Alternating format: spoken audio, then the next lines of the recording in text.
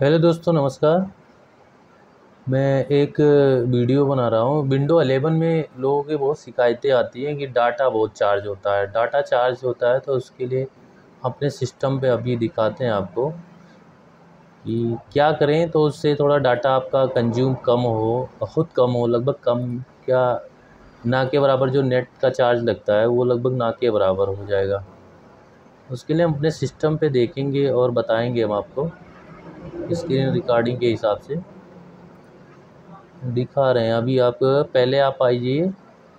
Search bar में लिखिए service service पे क्लिक करेंगे। बाद आप इसको मैक्सिमाइज करिए। और इसमें विंडोज़ अपडेट सर्वप्रथम इस पर आइए। विंडोज़ अपडेट पे। विंडोज़ अपडेट पे इसको आप जो स्टार्ट रहेगा, पहले आप देखेंगे तो ये स्टार्ट रहेगा। जैसे स्टार्ट हो गया तो इसको पहले स्टॉप कर लीजिए। ठीक? दूसरा नंबर इसी पे क्लिक करिए नेम वाले पे। फिर अपना लिखिए D E L D E L लिखेंगे तो डिलीवरी आप तो माई जी आ जाएगा। इसको आप स्टार्ट है स्टॉप है। तो स्टॉप कर लीजिए, यहाँ पे मैनुअल का ही रहेगा, ज़्यादा बंद नहीं होगा ये। कि बार बार आपको बंद कर लेना, कोई दिक्कत नहीं होगी। और एक होता है आपका बैकग्राउंड बी एस सी लिखना है।